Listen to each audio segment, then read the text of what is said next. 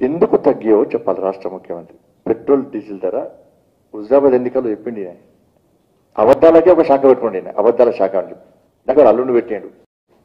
అంటే ఇప్పుడు దు- హుజరాబాద్ ఎన్నికల్లో దుబ్బాక ఎన్నికలు అల్లుడు పెట్టిండు. మళ్ళీ ఇంకొకరు ఎన్నికలు ఇక్కడ ముఖ్య- ముఖ్యమంత్రి మార్చాడు మంత్రి అబద్ధాల మంత్రి మార్చాడు. ఎక్స్పర్ట్స్ అబద్ధాల నెంబర్ వన్ చట్టాలు వీళ్ళందరూ కూడా. బా నిన్న తిడుతుంటే ఎంత ఆనందపడుతుంటే పక్కకున్నారు రాబోబోయమ్మ ఫుల్ రాక్షసాన పోతున్నారు ఓ అందిస్తున్నారు. అంతకుముందు పక్కలు మాత్రం హెచ్ అంటుండే. పక్కలు వాడపోదురు ఇప్పుడు పక్కలు ఫుల్ అందపడుతున్నారు ఇవన్నీ తెలియదు పాపం వీళ్ళకి. గిన్ని లీటర్లు ఉన్నాయి. గింత ఉందని తెలియదు పాపం వాళ్ళకి.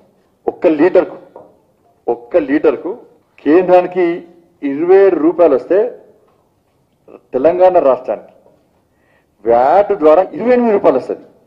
కేంద్రానికి ఇరవై రూపాయలు వస్తే వ్యాట్ ద్వారా తెలంగాణ రాష్ట్రానికి వచ్చేది ఇరవై ఎనిమిది రూపాయలు. ఇవి నీకు వస్తున్నాయా? వస్తలేవా? వస్తా చెప్తే మళ్ళీ చెప్తాను నేను వస్తా చెప్తే మళ్ళీ నీకు మంచి ఆధారాలు ఇస్తా. మళ్ళా ఇరవై ఎనిమిది రూపాయలు. ఈ ఇరవై కేంద్రానికి వచ్చే ఇరవై ఏడు రూపాయలు కూడా రాష్ట్రానికి తిరిగి వచ్చేది పన్నెండు రూపాయలు. కేంద్రానికి ఇరవై ఏడు రూపాయలు వస్తుంది. రాష్ట్రానికి వ్యాట్ ద్వారా ఇరవై ఎనిమిది రూపాయలు వస్తుంది. కేంద్రానికి వచ్చే ఇరవై రూపాయలు మళ్ళీ తెలంగాణ రాష్ట్రానికి తిరిగి ఇచ్చేది పన్నెండు రూపాయలు. ఇది వాస్తవమా కాదా? చెప్పండి. ఇరవై రెండు ఇరవై నాలుగు రాష్ట్రాల్లో వ్యాట్ తగ్గించారు. అసలు వ్యాటు అత్యధికంగా విధించే రాష్ట్రాలు నెంబర్ టూ ఇది. రాజస్థాన్ నెంబర్ వన్ అయితే నెంబర్ టూ రాష్ట్రం తెలంగాణ రాష్ట్రం. వ్యాట్ ద్వారా దుబ్బి దుబ్బిపోతాను ప్రజలను మనం చేసి. సెస్ అంటాడు. సెస్ అంటాడు. మరి మొన్న నీ మంత్రి వేయండి కదా. నీ మంత్రి పోయినప్పుడు పెట్రోల్ను డీజిల్ను జీఎస్టీలో చేర్చాలంటే ఎందుకు వద్దాను మనం? ఎందుకు లేక ఎందుకు ఇస్తలేవు? దొప్పిపోయి దొప్పిపోవాలి ఇరవై ఏడు రూపాయలు ఇరవై ఏడు రూపాయలు ప్లస్ పన్నెండు రూపాయలు ఎంతనా అరవై రూపాయలు దొబ్బిపోతావు. మళ్ళీ ఇది పెరిగింది అది పెరగలే ఇది పెరగలే.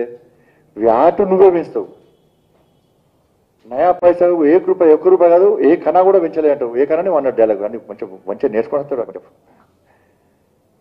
మోసం చేస్తావు. ఇరవై నాలుగు రాష్ట్రాలు తగ్గించినప్పుడు నువ్వు ఎందుకు తగ్గావు? ఈ ఇరవై నాలుగు రాష్ట్రాల కంటే తెలంగాణ రాష్ట్రమే అత్యధికంగా వ్యాటు పన్ను విధిస్తున్నది. వాళ్ళు తగ్గించినప్పుడు నువ్వు ఎందుకు తగ్గావు? అంత బలిపెక్కిన మాటలు నీకు ఎందుకు నేను తగ్గియా? నేను పెంచినా? అంటే దుబ్బిపోతావు పైసలు. దుబ్బే దుబ్బుతావు. రాష్ట్ర ముఖ్యమంత్రి పెట్రోల్ విషయం స్పష్టం చేయాలి. అంటే క్లియర్ చెప్తున్నా పాపం ముఖ్యమంత్రి గారికి. కేంద్రము ఏమి ఇయలే కేంద్రము ఎన్నో కోట్లు ఇచ్చాను ఎన్నో కోట్లు ఇచ్చింది? నలభై నలభై వేల కోట్లు ఇచ్చినారు కేంద్రం. నలభై వేల? ఆ, నలభై వేల కోట్ల రూపాయలు మాత్రమే ఇచ్చిందట కేంద్రం. తెలంగాణ రాష్ట్రానికి కేంద్రము ఇచ్చింది రెండు లక్షల యాభై రెండు వేల తొమ్మిది వందల ఎనిమిది కోట్లు. రెండు లక్షల యాభై రెండు వేల తొమ్మిది వందల ఎనిమిది కోట్ల రూపాయలను కేంద్రము తెలంగాణ రాష్ట్రానికి ఇచ్చింది. ఇది పన్నుల వాటా ఈ ప్రాయోజిత పథకాలు ఉంటాయి జాతీయ రహదారుల విస్తరణ రైల్వే ఫ్రీ వ్యాక్సిన్ పేరిట ఇంతవరకు ఇచ్చింది ఈ రెండు లక్షల యాభై రెండు వేల కోట్లు ఇచ్చింది. కేవలం ఈ ఐదు అంశాలు మాత్రమే. ఐదు అంశాలు మాత్రమే. మళ్ళీ దేశ రక్షణ విమానయాన ఈ శాటిలైట్ జాతీయ విపత్తు లాంటి అంశాలు కూడా కేంద్రం ఆ ఖర్చు చేసే విషయం మన అందరికీ తెలిసిందే కేంద్రానికి తెలంగాణ నుంచి కేంద్రానికి తెలంగాణ నుంచి వివిధ పన్నుల రూపాయన వచ్చింది ఎంత అంటే రెండు లక్షల డెబ్బై రెండు వేల కోట్లు. రెండు లక్షల డెబ్బై రెండు వేల కోట్లు వస్తే రెండు లక్షల యాభై రెండు వేల కోట్ల రూపాయలను ఇవాళ కేంద్రం తిరిగి ఈ పన్నుల రూపాయన తిరిగిస్తున్నది. వచ్చిన ఆదాయంలో లక్ష నాలుగు వేల ఏడు వందల పన్నెండు లక్షల కోటి రూపాయలు పన్ను వాటా ఇస్తున్నది.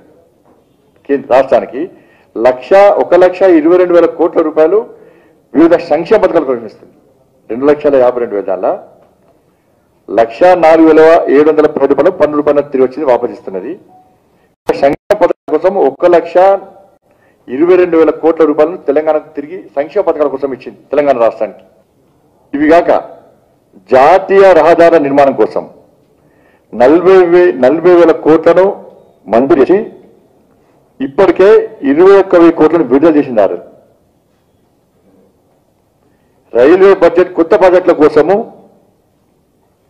ఇరవై మూడు వేల నాలుగు వందల తొంభై ఒక్క కోట్లను తెలంగాణకు కేటాయించడం జరిగింది. జాతీయ రహదారి విషయంలో గత ఏడేళ్ళు ఏడు సంవత్సరాల్లో తొంభై ఒక్క కిలోమీటర్ల జాతీయ రహదారులు ఒక లక్ష నలభై వేల కిలోమీటర్లు అయినాయి ఇప్పటి వరకు పద్నాలుగు నేషనల్ హైవే ప్రాజెక్ట్ ఇచ్చినాం.